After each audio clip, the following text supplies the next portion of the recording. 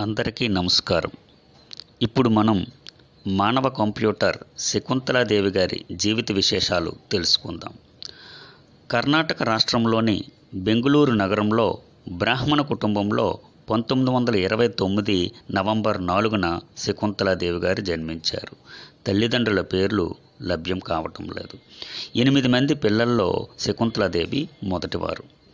తాత ముత్తాతల నుంచి కుటుంబ పెద్దలు జ్యోతిష శాస్త్రం పట్ల లోతైన అవగాహన ఆసక్తి ఉన్నవారు కావటంతో శకుంతలాదేవికి సహజంగానే అంకెలతో ఆడుకోవటం అలవాటైంది బాల్యంలో పేదరికం వలన శకుంతలాదేవి అనేకసార్లు రెండు పూటలే భోజనం చేయాల్సి వచ్చేది పాఠశాలలు మారాల్సి వచ్చేది. తండ్రి ప్లేయింగ్ కార్డ్స్తో మ్యాజిక్ షో చేసేవారు. తనతో పాటు శకుంతలాదేవిని కూడా రోడ్ షోలకు తీసుకొని వెళ్ళేవారు.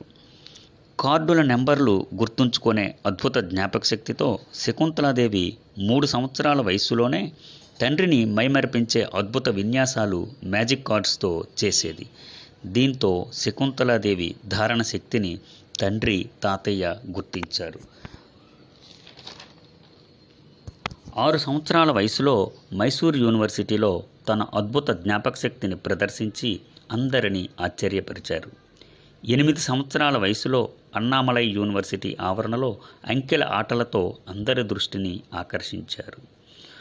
తెలుగు రాష్ట్రాల్లో ఉస్మానియా యూనివర్సిటీ హైదరాబాద్ కేంద్రీయ విద్యాలయం ఆంధ్ర యూనివర్సిటీలలో కూడా ప్రదర్శనలు ఇచ్చారు అంకెలు చతుర్విధ ప్రక్రియలే ఆమెకి ఆట వస్తువులయ్యాయి. పంతొమ్మిది వందల నలభై నాలుగులో తండ్రితో పాటు లండన్ వీరు వెళ్ళారు. అక్కడ పంతొమ్మిది వందల అరవై వరకు ఉన్నారు.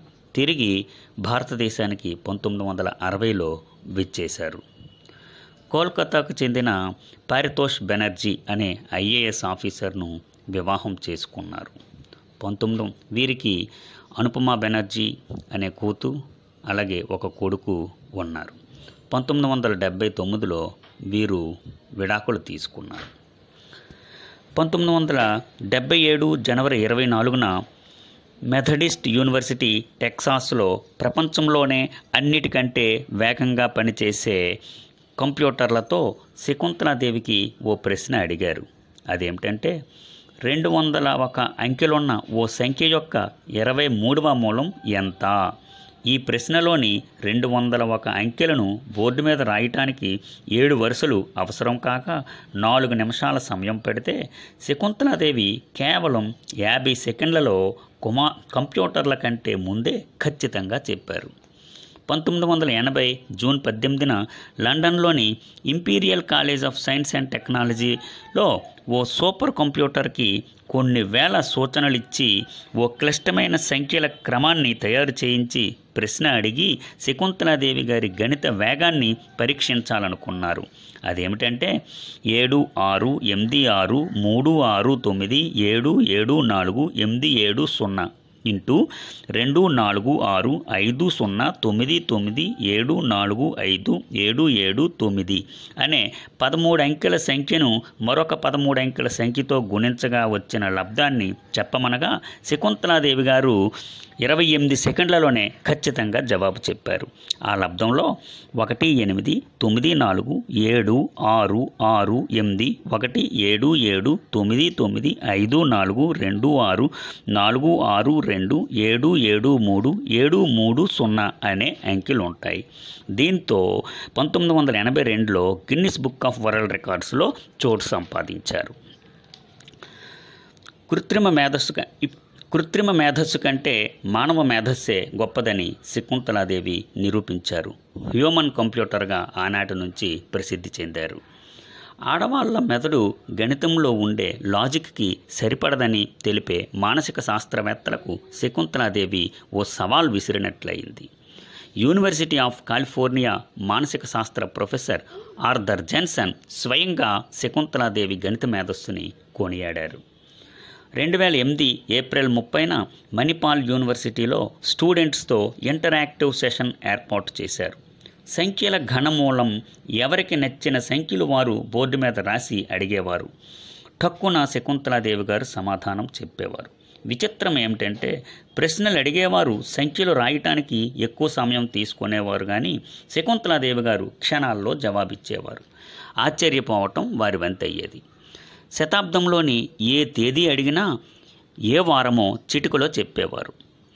గణిత శాస్త్రంలో America Russia Italy Spain Indonesia Malaysia వంటి ఎన్నో దేశాల్లో కొన్ని వేల ప్రదర్శనలు ఇచ్చారు ఈ ప్రదర్శనలు చూసిన విద్యార్థులు ఇన్స్పైర్ కావటమే కాకుండా గణితం పట్ల ఆసక్తిని పెంచుకునేవారు. ఎంత ఎదిగినా మరెన్ ఎవరెంతమంది పొగిడినా ఆమె అదే అనుకువతో ఉండేవారు. సాధారణ జీవితమే ఇష్టపడేవారు. గణితం పిల్లలకు ఆహ్లాదాన్ని అందించాలంటారు శకుంతలాదేవి గారు.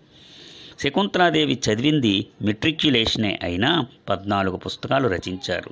గ్రహాల భ్రమణ స్థానాలను కంప్యూటర్స్తో గణించుట కంటే ముందుగానే తన మేధస్సుతో గణించి చెప్పేవారు.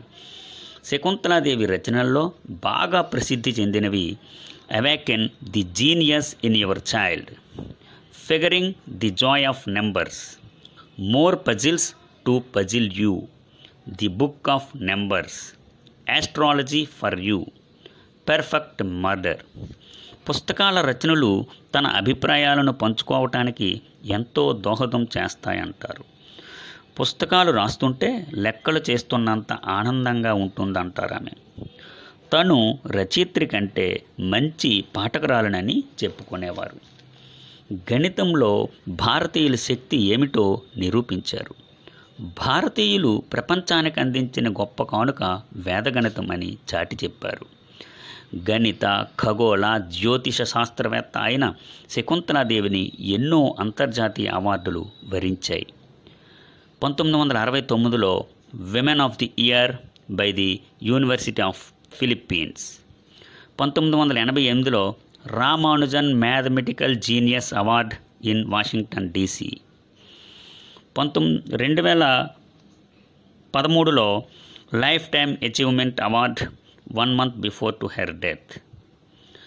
అంకెలతో ఆటలాడుకున్న మ్యాథమెటికల్ జీనియస్ హ్యూమన్ కంప్యూటర్ అయిన శకుంతలాదేవి గారు ఈ లోకంలో మరి కొన్నాళ్ళు ఉండడానికి ఆ దేవుడు వీసా పొడిగిస్తే బాగున్ను అనుకునేవారు. కానీ బెంగళూరులోని ఓ హాస్పిటల్లో ఓపెన్ హార్ట్ సర్జరీ అయిన కొన్నాళ్ళకు రెండు వేల పదమూడు ఏప్రిల్ ఇరవై ఒకటిన ఆ భగవంతునిలో ఐక్యం అయ్యారు. ప్రపంచ దేశాల్లో భారత కీర్తి పతాక రెపరెపలాడించిన హ్యూమన్ కంప్యూటర్ శకుంతలాదేవిని తరతరాలుగా తరతరాలు గుర్తుంచుకుంటాయి. జై హింద్.